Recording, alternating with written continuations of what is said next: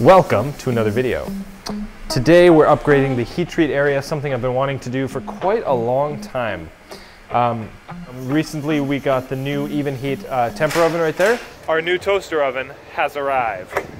We're still rocking the uh, modified toaster oven, but this guy should be really, really nice. We got the new controller for the old oven here, which we use every day. Barry uses every day.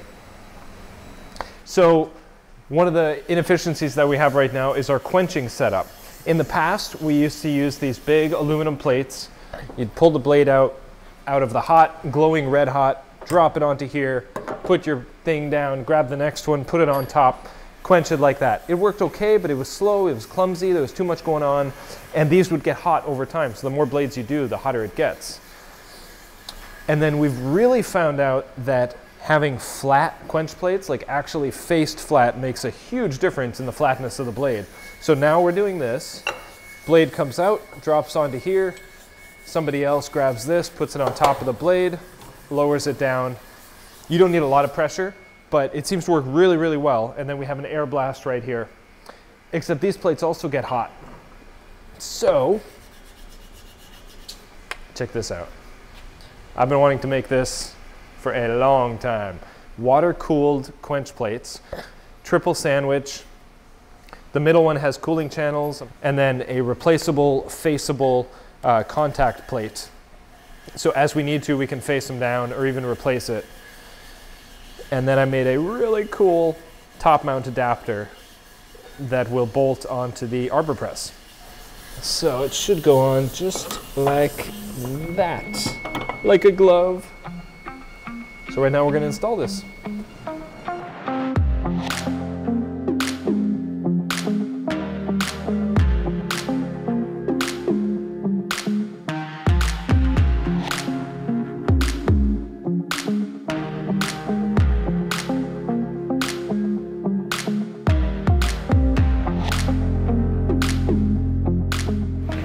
So I'm using this gasket, gasket sealer right now to seal the surface basically. Doing an okay job, not my best work, but uh, it'll squish and, and blend once you get the pressure on.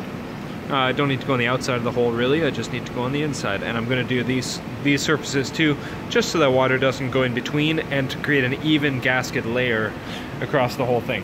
So I'm just gonna keep going, go all the way around, and then this guy goes on here Da, da, da. Bolted down. It says to um, tor torque it finger tight, set for an hour, and then crank it to full tightness. So I've already done that to this one. You can see the gaskets in there, little orange layer. Very cool. And then the way these are gonna work, so that'll go on here, and then on the bottom will be our quench surface, which will be these plates. Right, so these will go on the bottom. This is where the blade will get hit every time. Um, so these are wear items and we'll have to face them and surface them periodically um, to keep them nice and flat and shiny. Did get a little bit of chatter there, which I'm not happy about. But it's all good, they're flat enough. Flatness of the quench plate has become very important to us. Um, we really notice it. So I'm gonna keep doing this before it cures and then we'll go forward. All right. The bolt pattern is one way. Notice in the top center there's one and in the bottom there's two. So it really only fits on one direction. Line up the holes. Jiggle it around a little bit. All right, with a little bit of soldering and an old, old cell phone charger, 12 volts, we have a temperature gauge. It's so hot because I was just rubbing this thing in my hands. It does work. Sweet. So the temperature gauge is going to measure the water temperature in the bucket, and uh, we'll get to that in a second. I had another one I had another one, a high temperature one, that I was gonna mount right here. But I'm dumb. It's a metric M6 and I tapped these quarter 20. Ah! So I actually broke this thing. So to mount this lower plate, this sandwich, onto the arbor press, I had to kind of figure out the easiest way to do it. So I figured a three pin scenario would be perfect. That pin goes into that hole. These two pins just kind of go right here. It seems to work good. It's got a bit of wiggle, but she's good.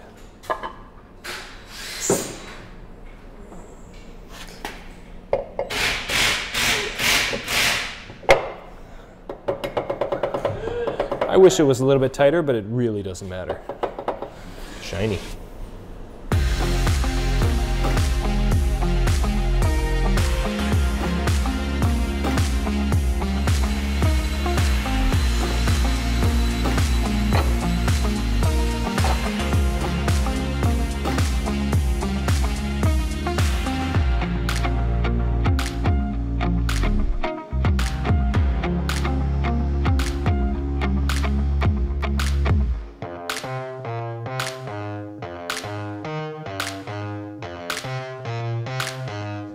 Erik stole my phone to make some US calls, so I'm on the GoPro right now, handheld.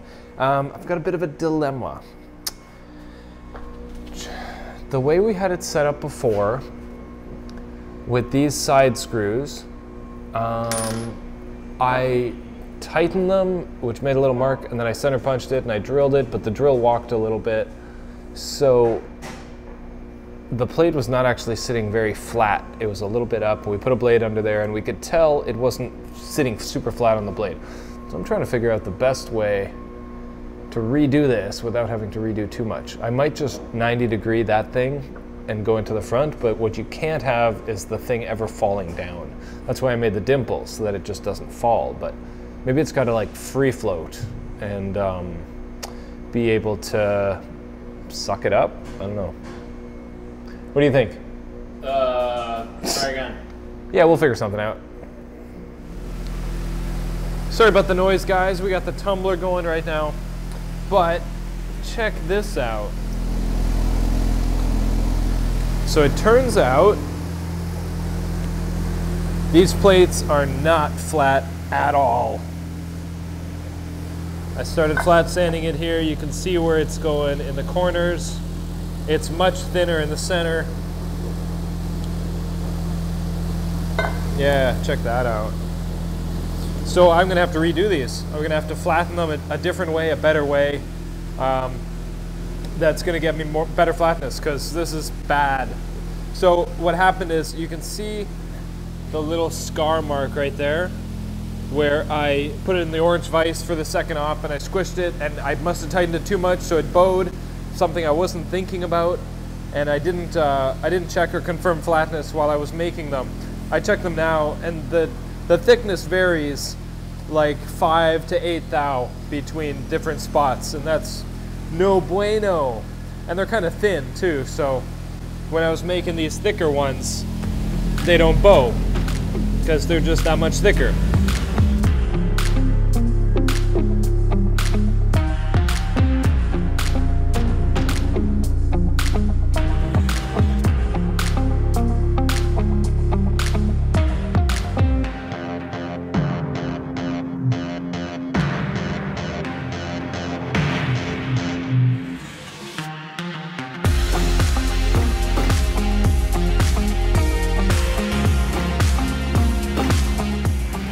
Got them nice and flat.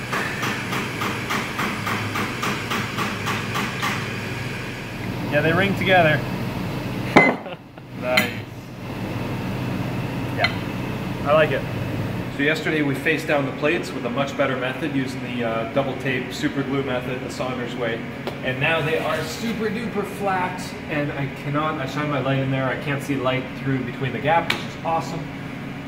So they're back together, they're good to go. So if I turn it on, turn the power switch on, the aquarium pump turns on and my little temperature gauge right there turns on, which is in the bucket of water over here. So basically the aquarium pump is pumping water into the bottom plate and the top plate and then out on this side. back into the tank.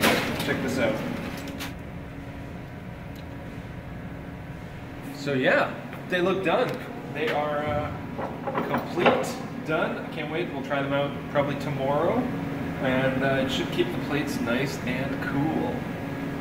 And then we've got the temperature gauge to be able to see the result over a bunch of blades, see if the tank of water actually gets hotter, and then we can feel feel if they get hot or cold over time too. So super duper excited. Um, project complete.